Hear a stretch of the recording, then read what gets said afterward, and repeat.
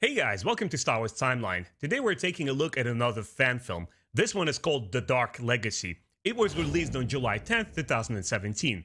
It is written and directed by Anthony Pietromonaco, starring Erin Wu, Fabien Garcia, Dave Thomas. Guys, the credits are actually quite large for this one. I'll leave everything in the video description below, including a link to the original video. Please go to their YouTube channel and support them. I think they definitely well deserve it.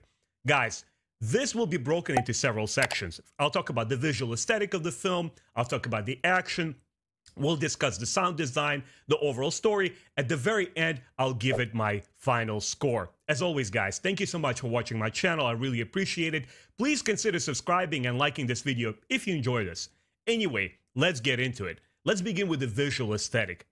Whoever has worked on this video, once again, you'll see the full credits, they have done a phenomenal job on this everything looks very highly produced, something that I would actually expect to see on Disney Plus. And there's this seamless trandi- transition from CGI to live actors. The visual effects are very well done right from the beginning. It grabs your attention when you're in outer space and you see all the planets and it homes in on of our planet of interest and it goes through the stratosphere and lands on the actual surface. It's a seamless transition. It is so well done. I had nothing but positive uh, uh, uh, things to say there. The lightsaber effects were absolutely fantastic as well. You know, you see this stylistic choice of picking a lightsaber duel taking place in the dark. I have to say, the lighting is immaculate. You always see the actors. You're never confused by the action, which it sort of looks simple on the outside, but I'm pretty sure a lot of thought and consideration of how to film it went into it to make it look so effective. Because the lightsabers themselves, they don't look like glow sticks. They really pulse with energy and they really feel special and magical. Just like that first time when I saw A New Hope and uh, uh, Luke Skywalker ignites his lightsaber and we see the effect for the first time, this is exactly how it feels like. Only this time around, the blades themselves are the beams are much wider and there is a lot of characteristic to each one the difference between the green one and the yellow one, you definitely see something else is going on there, which once again definitely feels like it was stylistic and deliberate choice to kind of accentuate what each character represents. Um, I gotta say also the digital backgrounds. When once we land on the planet itself and we see a lot of stuff in the background there, it's very effective. We see these statues which I'm going to call them from this point forward, basically Zeffo people. Well, this is what they reminded me of from the Star Wars uh, Jedi Fallen Order video game, kind of these ancient race of beings. Obviously, we don't know exactly what they are. They actually, the profiles of the their skulls kind of look like uh, Snoke from Star Wars sequels. So there's something going on there, a bit familiar, but something new there. Obviously, the statues are giant, they're way over exaggerated, but it gives you a sense of place there and history and something going on. You're like, huh, hold on a second. There's definitely lore happening. It almost feels like, hey, where's the next chapter? After you finish watching this film, you want to see more just to get to understand what is this location. Now let's talk about the action. Perfect choreography. I mean, absolutely flawless because what what drives the sequence here is emotional component and it's very economical in movement. I prefer myself uh, the uh, battle sequences from the original trilogy and the sequels. I'm not on board with the very flashy prequel kind of like lightsaber duels, except for a Darth Maul and Qui Gon and Obi Wan Kenobi. To me, that was the strongest one. Every time the Jedi go into like lightsaber twirling, like glow sticks, and they do the, a lot of finesse and unnecessary movements, I sort of kind of lose interest. Remember when Luke was dodging Kylo Ren's lightsaber in uh, The Last Jedi, and he does that little matrix dive. I, am not with it. I, I really enjoy very economical, precise movements that go right into the action. And this is how I felt choreography was handled here. There are still a couple of flashy movements here and there, but primarily the whole bulk of the battle takes place where it's opponent versus opponent, and they know how dangerous these lightsaber weapons are, and they're very focused because each moment could spell life or death situation for them. Um, and I also enjoyed how it was filmed it wasn't interrupted by super fast cuts like just for the sense uh, uh, you know for the sake of flashiness. It's very clear and deliberate what is happening on screen at every point. and once again i have to say the added difficulty was uh, uh, the challenge shooting it at night. And they still made it feel very very clear what is happening in that uh, battleground. Also i enjoyed the pacing between the action and the narrative.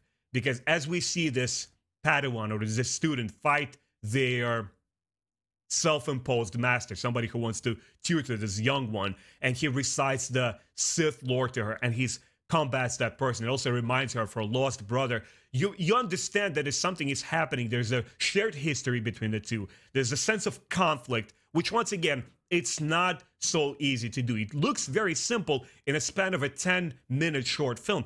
But guys, I guarantee you, from a cinematic standpoint, from a filmmaker's perspective, it's not easy to do at all. And I have to say, they pass with flying colors here. It's it's beautifully done, and I couldn't get uh, enough. Actually, when it was finished, I started uh, doing a little bit of googling. Hey, when is part two coming out? I really want to see a sequel to that. Um, next, uh, which I think is crucial to the success of this film, is the sound design. It is accompanied by absolutely haunting and beautiful uh, musical score. It sets this very dark tone and it describes character moods and their emotional states perfectly. Because I feel that sound is half of storytelling.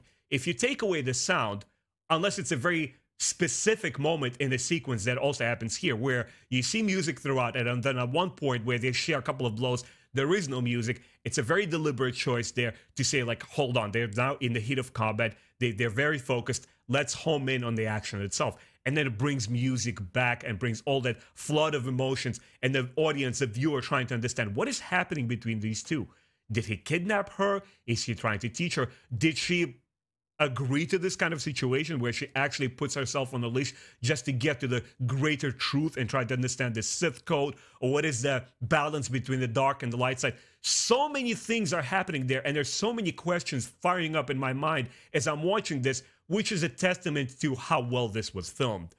Um, and also the sound effects accompanying the lightsabers themselves. I mentioned earlier in this review that the, they look very good.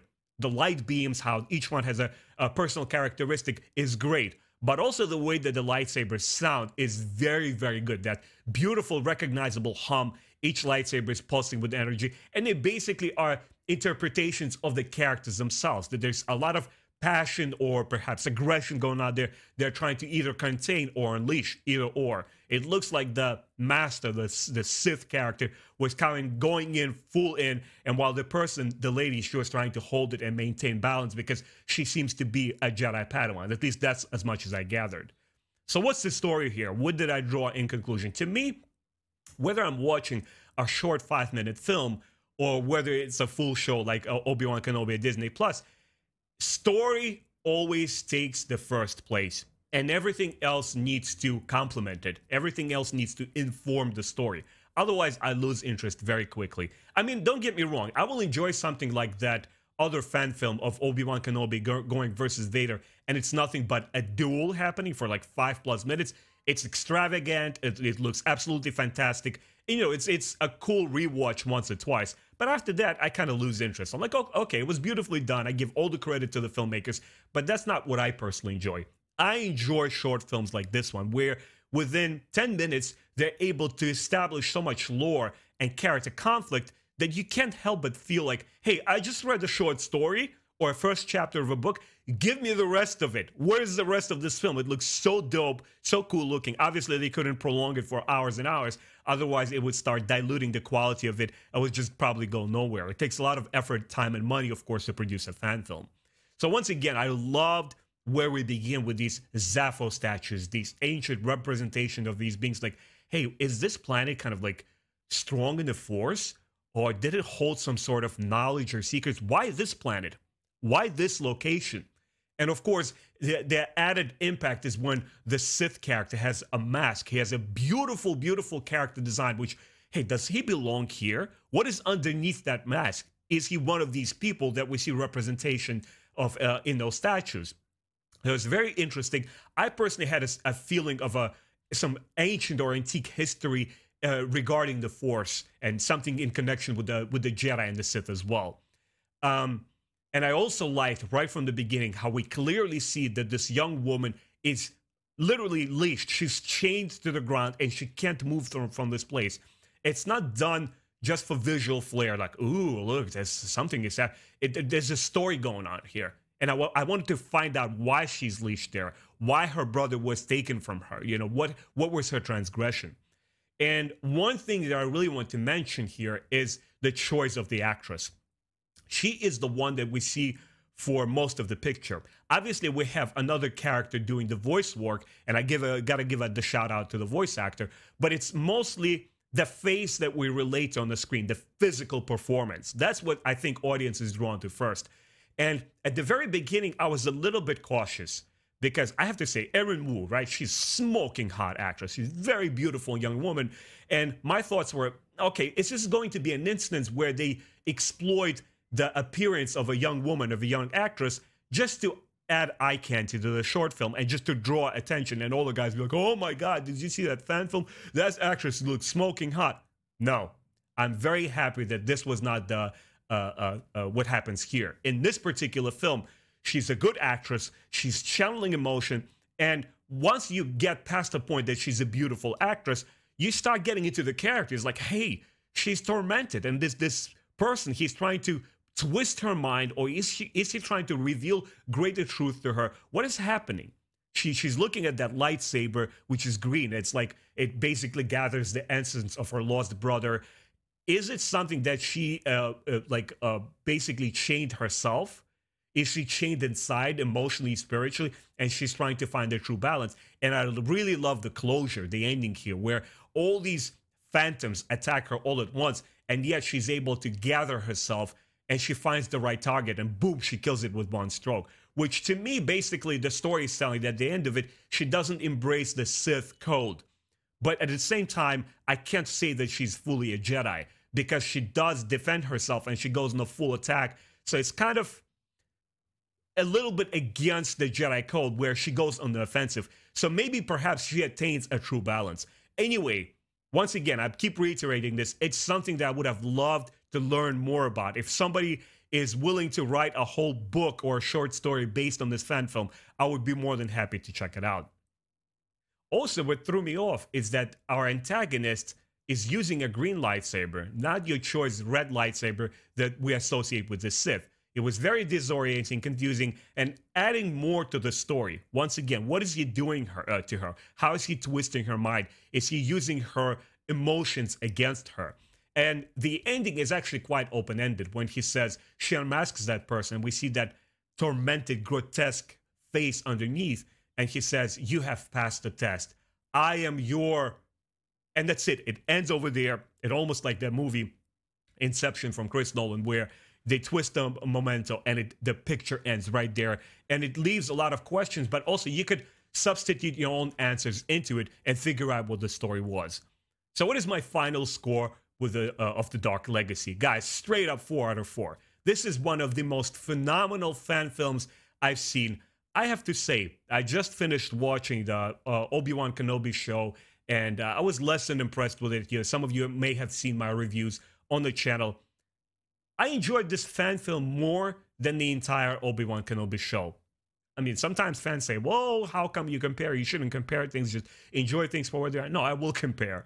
I will compare because one leaves a much greater impact on me and it fires up a lot more questions and gives me a lot more story going for it, which is a lot more economical. It's only 10 minutes, but I was so on the edge of my seat that I wanted to find out more what happens there.